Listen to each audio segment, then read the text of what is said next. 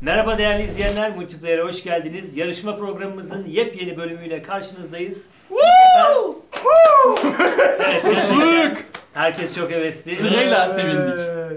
Birinci takımda Orhun ve Sercan, ikinci takımda da ben ve yılların eskitemediği p***lerden Evet Mehmetcan, Ben- söz sende. Birinci, ikinci değil de A grubu, B grubu diye ayırayım. Tamam. Soru sorması daha kolay olsun. Tamam, biz. A grubuyuz. Öncelikle Güzel. iki takıma da şans diliyorum. Teşekkürler. A grubunun birinci sorusuyla başlayayım mı artık? Başlayın. Buyurun başlayın. Başlıyorum. Amerikan başkanlarından John Fitzgerald Kennedy'ye suikast düzenleyerek öldüren kişi kimdir? Şıkları görüyorsunuz. Sen yine Var mı bildiğiniz Özcan Bursa. Bey? Emin misiniz? Bana da o gibi geldi ama. Bana evet Oswald diye hatırlıyorum. Oswald diyor. Evet, B, B diyoruz. Emin misiniz? Öyle Eminiz. hatırlıyorum valla. Doğru cevap geliyor. İlk sorudan ilk doğru cevabı A grubu veriyor. Tenis maçı gibi mi? o kadar kısa. B grubunun ilk sorusuyla devam ediyorum. 2007 yılında Türkiye'de kullanılan ilk koyunun ismi nedir? Ama soruya bak. E, Sizinki çok zordu sanki. Bu daha kolay. Yanlışlıkla ağzınızdan kaçırmayın da. Kaçırmam çok kolay. Yalnız bir dakika. Kınalı ne? Sus, ne, ne yapıyorsun? ne yapıyorsunuz ya böyle? Ee, cevap veriyorum Dolly. Yanlış cevap.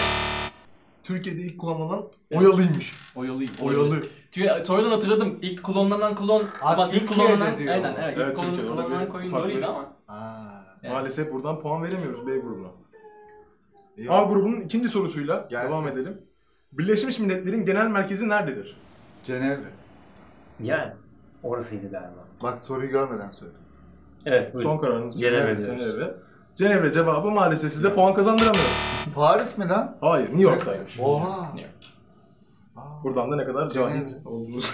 Cenevre neydi ya? Neyse. İsviçre. B grubunun bir diğer sorusuyla devam ediyorum. 1980 yılında Eurovision'da ülkemizi temsil eden Ajda Pekkan yarışmada kaçıncı olmuştur? Siz biliyorsunuz. Yok o kadar da değil. Bir dakika hatırlıyor gibi. Hatırlıyor gibisin. Hmm, Ta- O zamandan Ha. hmm, oradaydım. O da- Ya bir kere petrolle temsil Ya sen ne yapıyorsun? Hayır. Petrol deyince ne var canım? Petrol zaman düşük. Hayır Ya. işin... Neyse tamam. Ya 10 ya 15 diye hatırlıyorum ama. Cevabı Abi yani ad, neyse. Ya, Zor bir soru. zor soru. 10 mu? Bilmiyorum.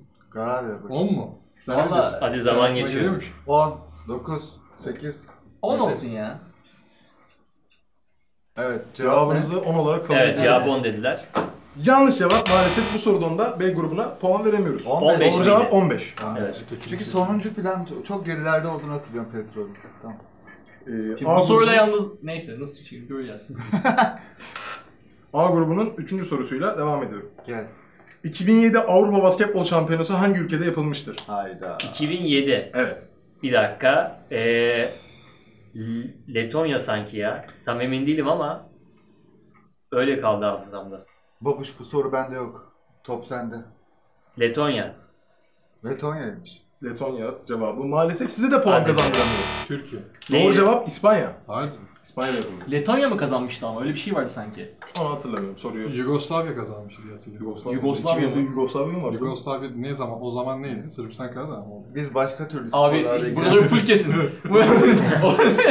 Yugoslavya nereden çıktı? yarışmaya devam etmiyoruz anladık. Biz bu spor türlüğe giremiyoruz. Başka spor türleriyle. Evet. Hangi? Türkiye'de finalde oynamış mıydı Yugoslavya? Öyle hatırlıyorum. Neyse devam edelim. Devam edelim, devam Yugoslavya edelim. B grubunun bir diğer sorusuyla, üçüncü sorusuyla devam ediyorum. Euro 2004 futbol şampiyonası hangi ülkede yapılmıştır? 2004 diyordu. Euro 2004. Yunanistan kazanmıştı da Portekiz'de mi yapılmıştı? Portekiz'de yapılmıştı. Po- Portekiz. ya Emin finalde misiniz?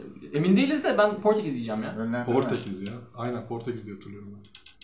Portekiz cevabı yarışmadaki ilk puanı size kazandırıyor efendim. Ee, Ha, daha puan alamamışlar. Bize aldık puanı. Ee, A grubunun dördüncü sorusuyla devam ediyorum. Evet. İngiltere milli takımında oynayan Dele Alli hangi ülkede doğmuştur?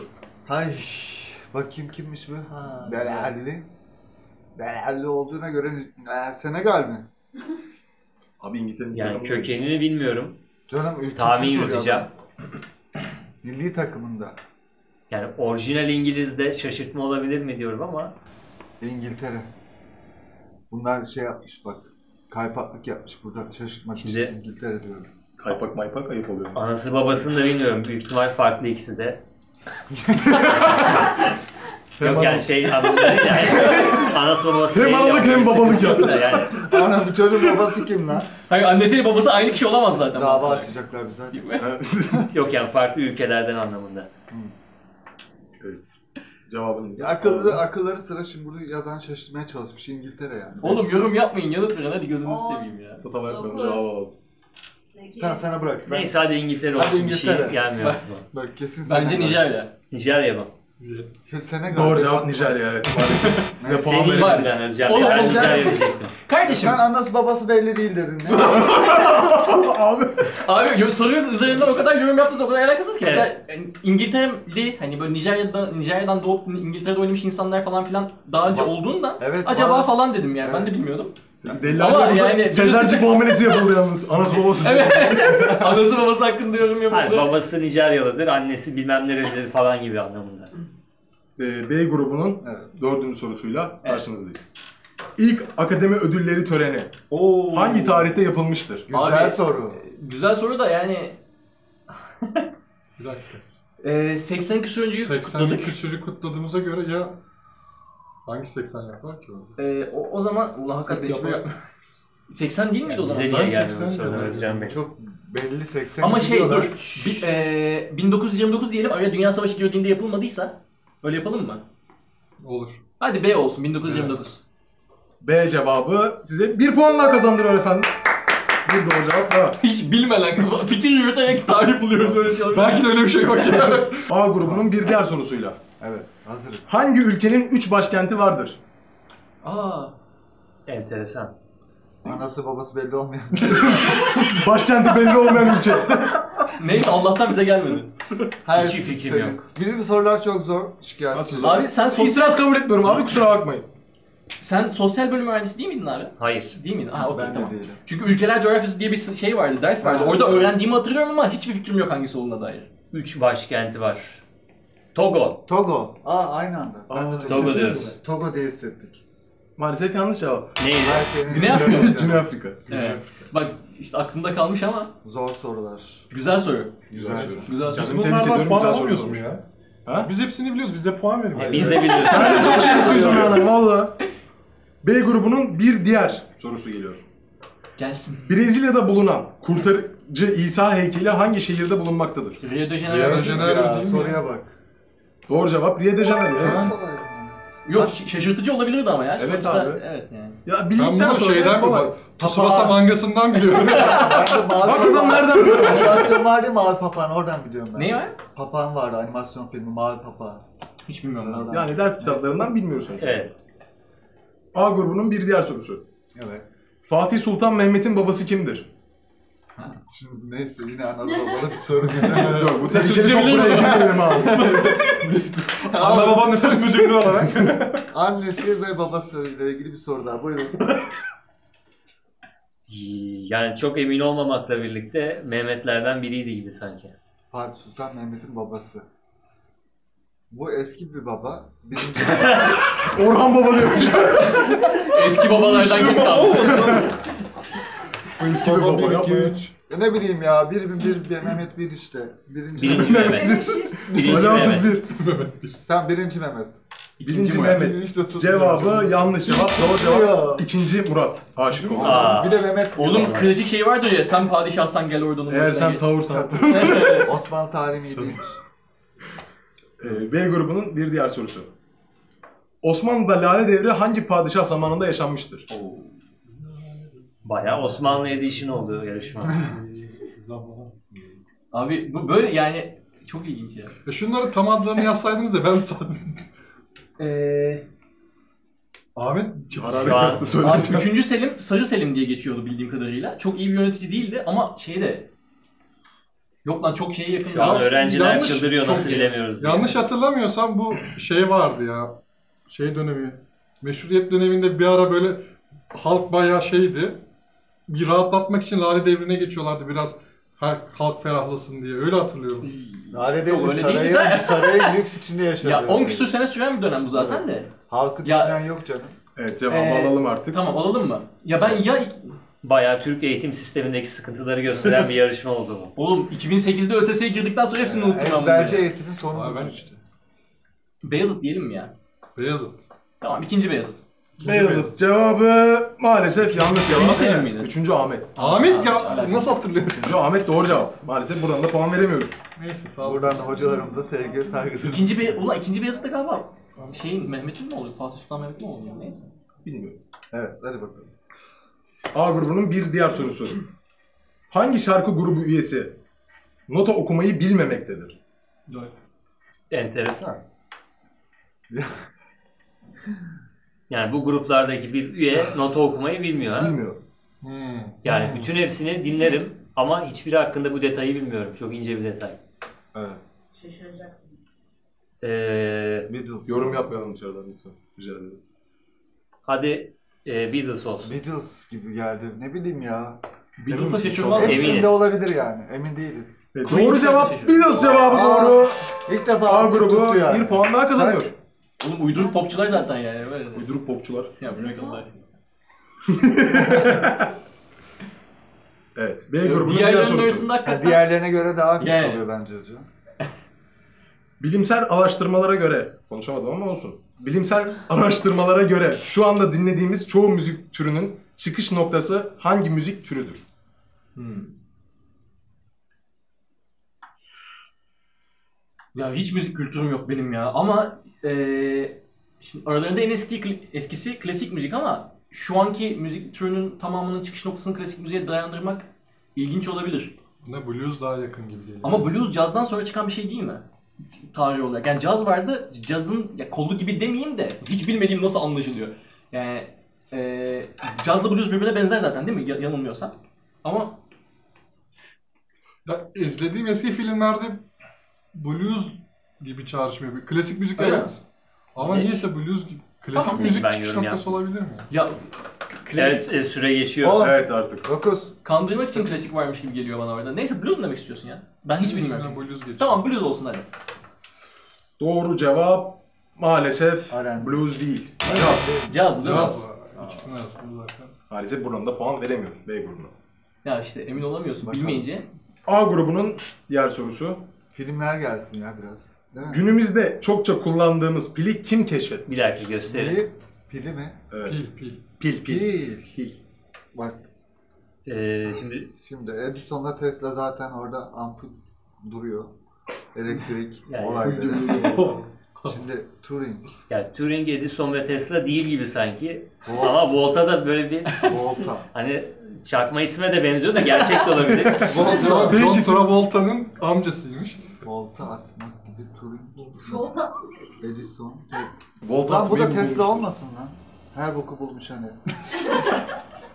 Bilim adamı hakkında Yani konuşmaz şimdi mısın? bir sürü şey keşfetmiş olabilir yani. Ben Pili de bir hepsi şey demiyorum. keşfetmiş olabilir ama bana sanki Vol- Volta gibi geliyor çünkü. Tamam. Hani İçimizden Volta geçiyor. geçiyor. başka bir şey geçiyorsa söyle. Tamam Volta olsun ya uzatmayalım. Rakiplerimiz bir yapmıyoruz. Volta cevabı size bir puan daha kazandırıyor. Ha güzel. Hayırlı uğurlu olsun güle güle kullanın. Eyvallah Kara. B grubunun diğer sorusuyla devam ediyoruz. Evet 8. sorumuz değil mi? Evet. Puan durumu Puan Bundan durumunu sonra öğrenelim. öğrenelim. Bundan Ha, sonra. bundan sonra öğrenelim tamam. Cebirsel ifadeleri keşfeden ünlü matematikçi kimdir? ki. Ee, ya şey var, Cahit Arf bizim dünyaca matematikçilerimizden bir tanesi olduğunu biliyorum ama cebirsel ifadenin ne olduğunu tam kestiremediğim için acaba bulduğu şey o mudur? Yani dünyaca, ha, Cahit Arf diyelim ya. Ya Arşimet suyun kaldırma gücünü buldu. Ömer Ay, ulan, ulan inanılmaz mantıklı şık yokmuş zaten. Cahit Arf'tan başka bana mantıklı gelen şık yok. Cahit Arf olsun yanlışsa da yanlıştır yapacak bir şey yok. Cahit Harf. Arf. Harf. Arf. Harf. Arf. Arf. Trakyalı. Tersten. Trakyalı. Ee, maalesef yanlış cevap. Ya, Doğru Harf cevap? Ömer Hayyam. Ömer Hayyam. Ömer Vay be. İlk matematik. Ömer Hayyam'ın ben rumayelerini bilirim ya. Edebiyatçı olarak tanırım kendisini. O yüzden hiç aklıma gelmedi. A grubunun Evet, o dönemki edebiyatçılar çok dolu adamlar olduğu için. de, soru Yalnız diğer Şimdikiler boş. ver. soruda bir sizden de bir şey silmenizi rica edeceğim. A grubunun diğer sorusu. Gelsin Arsenal. he. Arsenal takımının kalecisi Ospina hangi ülkedendir? Hangi ülkedendir? Yine ülke yine yine soy sop. Kolombiya sanki. Kolombiya diye aklımda kaldı benim. Var mı farklı bir şık aklınıza gelen? Yok. Sana güvenmek zorundayım. Kolombiya. Güvendim. Kolombiya cevabı doğru cevap. Helal. Öne geçiyor A grubu. B grubunun 9. sorusu. James Rodriguez Real Madrid'den hangi takımdan transfer olmuştur? Monaco. Yorum falan bir şey yapmıyorum. Yok, gerek. Çok kısa Porto'dan attı Monaco'ya yani. gitti. Monaco'dan Madrid'e geldi. Doğru cevap Monaco evet. Sercan Monaco. için çok kolay bir soruymuş. Peki kimle, kimle aynı dönem transfer oldu? Falcao'yla. Helal be. Da sordum be. Kapak. Falcao'la sonra Atletico Madrid. Helal be. Yok. A grubunun 10. sorusu. Son Ve son soru sorular artık. Hı. Berabere durum. Çok heyecanlı. Elimizde de joker soru yok. Berabere bitecek. Türkiye'nin kaç tane ülkeyle kara sınırıyla komşudur? Abi bu soru çok geyik bir sorudu. Abi Hep böyle inanılmaz. çıkar bulmaca. Soru yanlış şeyler. saçma. Evet. Kaç soru yanlış onu. Kara Bir şey sınırı. ederiz çok önemli. Ka- kaç ülkeyle kara sınırı vardır? Evet. Evet. Özetle o. Evet. Özetli o. Evet evet hatırlıyor musun? Suriye sayıyorduk hatta. Say. Bu soruyu ben hatırlıyorum. Hep çıkar böyle şeyler. Suriye, Avustralya. Meksika. Nasıl bakıyor oğlum Avustralya? 6 ya. 6 Vietnam. bence. Beyninden Ee, emin olamıyorum. Hepsi birbirine çok yakın. Birer fark var. Yakın tabii canım. Trinidad Tobago. 6 mı diyorsunuz? 6 anası satıyor. Size güveniyorum bakın. Bana bütün güvenme. bütün yarışmanın kaderi sizin elinizde. Şu an 6 Evet, Şu an diyorsunuz. çok kritik bir soru. Babuş- 6 dedik. Pardon. Babuş attım yani şu an. 6 dedik. Abi. cevabı. Yedi. Tamam 6 olsun hadi. 7 değil mi? Doğru cevap maalesef 8. 8 mi? Aa. 8'miş. 8. hangisi lan? Sayalım mı? Hadi hep beraber Bak, bilgilendirelim. Yunanistan. Bulgaristan iki tane batıda zaten. Suriye, Suriye. Irak, İran, e, A- Azerbaycan, Ermenistan, Af- Gürcistan. Yok Afganistan yok. Yok Nahçıvan Azerbaycan'a bağlı zaten. 8 tane oldu zaten. 8 oldu mu? tamam ben hepsini biliyorum ama yanlış saymayı öğrenememiştim. Sıkıntı matematikte. Evet. Evet, Kazanma kazandı. şansınız olan son soruya geçiyorum. Gel oğlum bilemezse ya. ne oluyor berabere kalıyor. Türkiye hangi meridyen ve paraleller arasındadır? Hayır. Ya, Bir dakika. ya, ben Bir dakika Böyle bak bakmıyorum şıklara bakmıyorum. 26-45 doğu meridyenleriyle Evet, 36-42 kuzey paralelleri. Beri ezbere bildiğim sayılı şeylerden biri. Soru olabilir mi arka? Yazıklar olsun. İlkokul Abi bir dakika bu bir ya. şey soracağım. İlkokul ül- yarışması komşuları mı? sordu. Ulan Biz de bilemediniz konuşmayın. Bildiniz mi? 7 dediniz. Ha, Yedi çat de mi? Biz soruyu saydık bile söyledi. ya. Saydık bile. Soruyu ya. okumadan Kardeşim, söyledi. Yedi dedim. Bize Lale Devri'ni soruyorlar size Fatih Sultan Mehmet'in babasını. Böyle bir şey olabilir Hayır mi bak ya? ama bak a- dürüst ol. Yok, Şu yok. ana kadar en Sorular kolay güzel. soru buydu. En kolay soru bu değildi. Yok Bence bence. Karambol ezbere bildiğim için bence. Hayır Bu bu bayağı ezber soru. Buna yorum yapamazsın oğlum buna. Bunu herkes Oğlum deminki soruyu Orhun gibi sen de saysan bulacaktın doğru cevabı. Türkiye hani Doğu Meridian Kuzey Tamam yeter. Kapatın şu kamerayı. Yeter. Evet, Evet. başka bir programda görüşmek üzere. Hoşçakalın.